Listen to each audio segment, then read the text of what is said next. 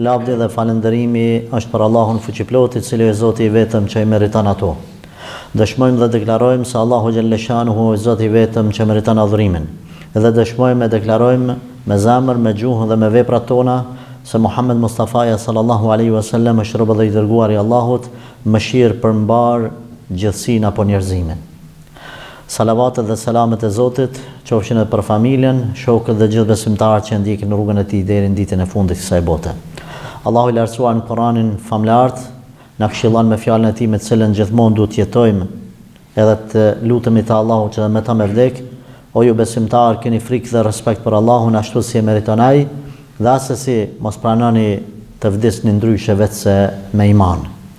Të dashur besimtarë, në dersën e kaluar folëm rreth historikut të familjes së Imranit, e që prej tyre është edhe prej Musa alejhi selam, Harunit deri tek Merjemja e pastaj edhe te biri i saj, Isa alejhi selam. Pra, e lamë aty që në momentin që lindi Isa alejhi selam, Allahu i Lartësuar ia mundësoi me fol n'djep. Pejgamberi sallallahu alejhi wasallam ka tregu se disa raste, disa fëmijë gjatë historisë kanë fol n'djep. Nuk është ai dersi jonë. E njëri prej tyre është edhe Isa alejhi selam. Nona e vet e murr e turprume, edhe shumë pishman, edhe shumë e mërzitne, që kur ta çojë këtë fëmijë te Benu Israilit te populli vet në Kuds, ata normal që kanë me akuzu. Kanë me akuzu ku e murr këtë fëmijë. Kjo e kish emrin Merjeme dhe thamë se fjala Merjem në gjuhën shqipe përkthehet ajo që shumë e adhuron Allahun, shumë e devotshme. Tash ajo kish shku me i shërby xhamisë së shenjtë Aksa, Edhe një grua aq e devotshme, aq e ndershme, aq me emën e me za në familje të vet, në farë edhe në fis, me ardhë me fëmijë në dorë, kjo s'është diçka në rregull, se parimisht për me lindë fëmijë një një grue duhet me pasë edhe babën dikun, dikush mu kon babë i tij, i atij fëmije. Por Allahu xhelleshanuhu deshti që edhe pse kemi thanë ajo, Boni dua o Zot ma mir ma merr shpirtin se sa me lind ket fmi, se sa domethën me mdodh kjo që m'dodhi, nuk e di kjo urtësinë dhe fshehtësinë se Isa alejhi selam do të jetë një prej pesë pejgamberëve më të mëdha, ajo nuk e di kjo. Kur erdhi me fëmin te populli vet Allahu xhaleshanuhu e urdhnoi Merjemen mos me fol. Veç me bë me isharat ka fëmija, folni me fëmin. Paria I thanë: Ja uhte Harun, oj motra e Harunit. Ulemaja do kanë thonë që e ka pasë kjo një vëlla me emnin Harun, do kanë thonë është për qëllim Haruni alejhi selam vëllai i Musës që kanë jetu, kemi thonë një mijë e tetëqind vjet përafërsisht para Isës alejhi selam, oj motra e Harunit. Baba yt nuk u konë burrë i keq. S'u kon njeri larg udhës Zotit. Wa ma kanat ummuki baghiya, as nëna jote nuk ka qenë e pandershme. Nuk ka qenë e pandershme, çka u ba me ty? Çfarë babe, çfarë nane ke pas ti? Fa asharat ilayh. Bani me shej isharet ka djali. Than, si t'i flasim një fëmije që sapo ka lind Si t'i flasim, ajo s'folke, se kajherë nuk ja vlen gjithmonë me arsyetu vetveten, kajherë ma mirë me heshtë për disa sene, hiç mos me çelë gojën, nuk ja vlen me dikon me debatu kajherë. Atëherë Isa a.s. foli, subhanallah, edhe e dini përmendsh çka ka thonë, fjalën e parë që ka thonë, inni abdullah, dhe sa për dobi, ata të cilët, E tregojnë nga jo muslimanët. Historinë e Isës alejhi selam nuk e përmendin që ai ka folë n'djep. Edhe pse parimisht kjo o vlerë për Isën alejhi selam, o vlerë. Por ata nuk e përmendin që ai ka folë n'djep. Se po ta përmendnin duhet t'i bashkonin edhe fjalën e parë cilën e ka thonë. Cilën e ka thonë fjalën e parë? Unë jam vërtet, vërtet, jo veç unë, po vërtet, s'ka dyshim, Mos dyshoni se unë jam rob i Allahut.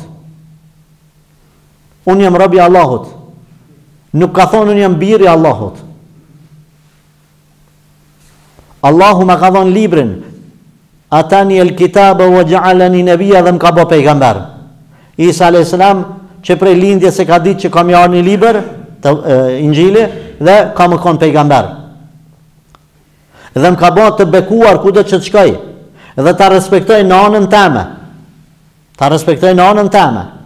Gjitha ato vujtje, gjitha ato shpifje, gjitha ato fjalë. Dhe Isa a.s. në këtë formë u ba sprovë për tri kategori njerëzish. Sprovë u ba për tre lloj, për tre popuj. U ba për hebrenjët, u ba për të krishterët dhe u ba për muslimanët. Për hebrenjët, të cilët e akuzuan Isën, nënën e Isës alayhis salam për grua të pandershme dhe Isën alayhis salam për fëmijë kopil, kërkoj falje për këtë shprehje. Dhe u ba sprovë për të krishterët, të cilët deshtën me e ngrit Isën alayhis salam si kundërpërgjigje ndaj hebrejve, edhe e ngritën e banë djalë të Zotit edhe Zot. E ngritën aty ku s'e kish venin e vet. Sprovë. Sepse sprova nuk është gjithmonë duke e nënçmu dikon, po edhe duke e vlerësu dikon ma shumë se çka duhet. Telashe. Edhe sprovë për muslimanët që me u mundu me ua spjegu njerëzve atë që Allahu e ka përmend në Kuran. Atë që pejgamberi salallahu alejhi ve selem e ka vërtetu në hadith, që nuk mundet me ndryshu kërkush. Le të çohet dykush le ta gjenë një pikë, një presje, Një zanore, një bashkëtingëllore, një lëvizje, një ajet që është gabim në Kuran, le të çohet, sfidë për tërë botën deri në kiamet. E qëto që po i përmendi, qëto informacione janë në Kuran, le të çohet dikush le t'i kundërshton me argumente. Prandaj e vërteta qëndron që na duhet me e mbrojt atë sprovë, nëse e mshelim gojën edhe e pranojmë se ai ka qenë Bir Zoti ose Estagfirullah diçka tjetër, atëherë edhe neve po bimë në atë sprovë. Na duhet me shpjegu dhe me e mbrojt Isën alejhi selam, edhe nanën e Isës alejhi selam, Merjemën, Marijen. Me e mbrojt ajo nuk ka qenë e pandershme. Na duhet ta mbrojmë ata, duhet me na vra neve kjo se nana e pejgamberit madh që e kemi borxh me e pasu, borxh me e besu, borxh me e mbrojt, borxh me u përkujdes. Jo, na nuk lejojmë me na ofendu nonën e Isës a.s. dikush. Me thonë ajo ka qenë e pandershme. Jo, estagfirullah. Neve na, na, na, na vret kjo. Neve na dëmton. Neve na mërzit. Pjesë e imanit nuk duhet me hesht. Edhe kur i thot dikush biri Zotit me thonë, jo, kadal. Ai është pejgamberi Allahut xhelleshanuhu, veçoria e tij është se i lindur është pa babë. Dhe nëse do të ishte dikush fëmijë i Allahut, veç pse ka lind pa babë, atëherë më shumë i bjen me kon Ademi alayhis salam fëmijë i Zotit se Isa. Me atë logjikën. Pse? Për arsye se Ademi alayhis salam ka le pa babë dhe pa nënë. Do t'i binte me kon bir, bi e Zotit edhe Hava.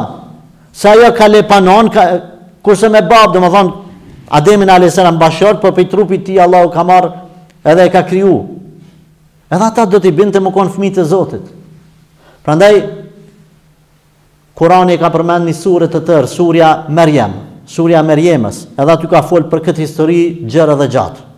Isa a.s. një prej tre pejgamberëve dhe tre emrave më të përmendu në Kuran. Musa, Is, Musa Ibrahimi a.s. dhe Isa a.s. janë ma s'shumti të përmendu në Kuran, mbi 130 herë, është përmend Isa a.s. është përmend gjithmon Isa i biri Merjemës, Asnjë pejgamber nuk është përmend me thonë Muhamedi i biri Eminës ose filani i biri filanës. Vetëm Isa alayhis salam është përmend. Ka është përmend Isa, është përmend edhe emri i nënës vet, i biri Merjemës.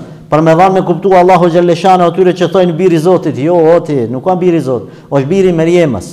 Isa i biri Merjemës. Dhe Allahu e ka përmend me disa sifate. Një prej tyre e ka përmend thot Isa dhe nona e tij janë dy rob të Allahut, të cilët kanë ngrënë ushqim, që kanë hangur bukë e ujë, me i dhënë me kuptu se po të ishin zota, nuk do të kishin ngrënë ushqim, sepse kush është zot s'ka nevojë për ushqim. Kana jakulani ta'am, hanin ushqim, si krejt njerëzit tjerë. Kjo pak a shumë mos me e zgjat, Në Kur'an ajo që është përmend për Isin alayhis salam, edhe pse ka edhe detaje të tjera, por nuk na mjafton koha. Ndërsa në hadithet e pejgamberit sallallahu alaihi wasallam, Isa alayhis salam përmendet si në vijim, shkurtimisht. Atij i ka ardh profecia në moshën 30 vjeçare. Pastaj ka qëndru duke thirr në Islam, në nënshtrim ndaj Allahu xhelleshanuhu. Dhe disa nga armiqtë e asaj kohe, të cilët kanë deviju nga rruga e Zotit prej hebrenjve, nga mësimet e Musës, Tevratit, dhe kur ka ardh Isa alejhi selam me i përmirësu ato pjesë besimit, ata nga dashuria për dunja dhe për pozita që i kanë pas, kanë shku dhe janë bo armiq këtij pejgamberit Allahu xhelle shanuhu e kanë akuzu për tradhti dhe për kryengritje ndaj bizantinëve.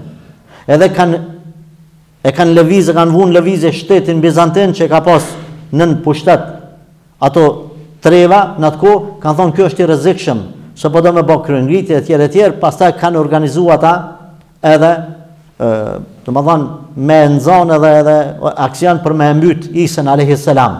Normal ka pas edhe një prej tradhtarëve dhe bashkëpunëtorëve të armikut ndaj Isës, ndaj këtij pejgamberit të Allahut edhe pejgamberit tonë, Atëherë Allahu xhelle shanuhu e ka ngrit Isën alejhi selam në qiell. Allahu përmend këto në Kur'an, "Wa ma qataluhu wa ma salabuhu." Nuk e kanë myt, as nuk e kanë kryqu.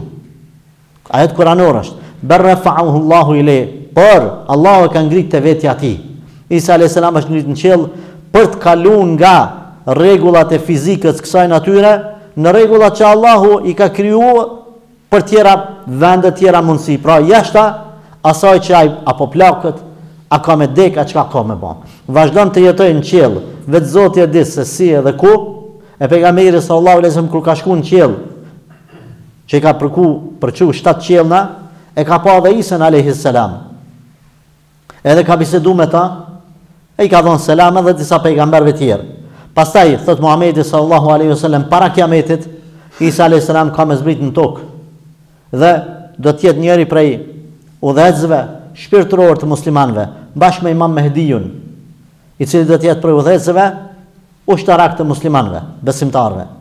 Edhe aty do të zbret domethonë në Damask, në xhaminë apo minaren e bardhë bashkë duke e bartur dy engjuj në namazin e sabahit por nuk do të zbret si pejgamber do të zbret si një besimtar i ymetit Muhamedit sallallahu alaihi wasallam ulemat kur e kanë komentuar këtë rast kanë përmend disa argumente se Isa alaihi salam kur i ka zbrit Tevrati, Inxhili kur i ka zbrit ky libër i, i madh i asaj kohe Ka lexu për ymetin e Muhamedit sallallahu alejhi ve sellem ka, ka dit edhe ka pa çfarë vlere kanë ky ymet dhe ju ka lut Allahu xhaleshanu me e bo prej ymetit Muhamedit sallallahu alejhi ve sellem. Dhe një prej sebebeve që Allahu e kthen në atë kohë është edhe ky. Por edhe sebeb tjetër që ka m'u kthy është për me u dhonë me kuptu të gjithë atyre atyre të cilët ose e kanë akuzu për lindjet pandershme estagfirullah ose ata që e kanë akuzu se edhe akuzë është që kanë thonë se ka lindë dhe është biri i Zotit, me ju dhonë me kuptu dhe me ngrit argumentin se nuk është qashtu o ju njerëz. Unë jam një njeri i thjesht, por Allahu më ka veçu me disa gjëra që nuk e ka veçu asnjë pejgamber tjetër. Dhe Isa a.s. ka qenë paralajmërues i ardhjes së Muhamedit sallallahu a.s. këtë e kemi në Kuran. Kjo ka qenë e shkruar edhe në Inxhil, e pastaj është fshi ose është deviju me kalimin e viteve apo qindra viteve dhe pra do të zbres në këtë botë do të urdhërojë për të mirë ndalon nga e keqja do ta përhapë hajrin dhe do të bahet bota besimtarë dhe musliman pasi ta kryn misionin e tij që do të zgjatë 7 vjet në moshën 40 vjeçare Isa a.s. ka për të vdekë për ta dorëzu shpirtin Allahut xhelle shanuhu edhe kjo një prej shenjave të mdhaja të kiametit Por Isa alejhi selam nuk vdes pa e kryer një mision. Ai është pa e mbyt Dexhallin.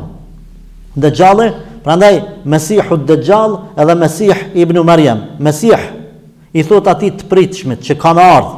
Edhe Mesih Dexhalli ka me ardh që pritet me ardh, edhe Mesih Isa ibn Merjem, Isa i biri Merjemes edhe ai ka me ardh. Të dytë e kanë Mesih, domethënë ata që priten me ardh. Ky është prej armiqve më të mëdhenj, Kurse ai është prej miqve edhe prej evliave ma të mdhaj Isa alayhis salam. Edhe she Dexhalli do të afrohet afër Medinës, aty nuk ka mundësi me hy për arsye se e ruajnë melaqet Medinën, Mekën dhe Medinën, por Isa alayhis salam kur ta sheh Isën alayhis salam do të fillojë me u shkri si shkrihet akulli n'diell ose ose ose qiri në zjarr E Isa alejhi selam do të ketë një betejë e cila nuk do nuk do të zgjatë shumë, edhe aty do ta mbyt Dexhallin e bashkë me Dexhallin edhe rranat edhe mashtrimet. Edhe aty përfundon misioni i Isës alejhi selam. Të dashur vëllezër, keni kujdes. Kështu perceptojeni këtë histori. Rujuni nga devijimet. Ju lutem keni kujdes si po e besoni këtë pejgamber të Allahu xheleshanu duhet ta mbroni të mos e akuzoni të mos e kundërshtoni etj etj etj por ta besoni mbas asaj që ka në Kuran edhe në sunetin e pejgamberit alejhi salatu e selam Allah na bëft asi besimtar të cilët i dojnë pejgambert besimtar që i pasojnë pejgambert besimtar që e pasojnë Kuranin dhe Sunetin e Pejgamberit Muhammed alejhi salatu ue selam, Allah na bashkoft në dunja dhe në ahiret me pejgamberët e Allahut, me devotshmit e Zotit edhe bashkë me Isën alejhi selam dhe gjithë pejgamberët tjerë, Allahu i faltë dhe i mëshiroftë të vdekurit tanë, baballarët tanë edhe kushdo që janë nga paraardhësit që na kanë vdekë, Allah na i rujtë evladët dhe pasardhësit dhe i baftë të devotshëm,